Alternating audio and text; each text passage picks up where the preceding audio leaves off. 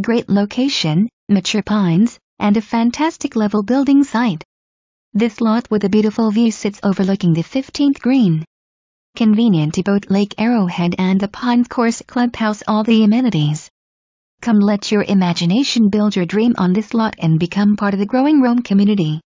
Lots number 157 and 158 are also available for your potential extra building pleasures.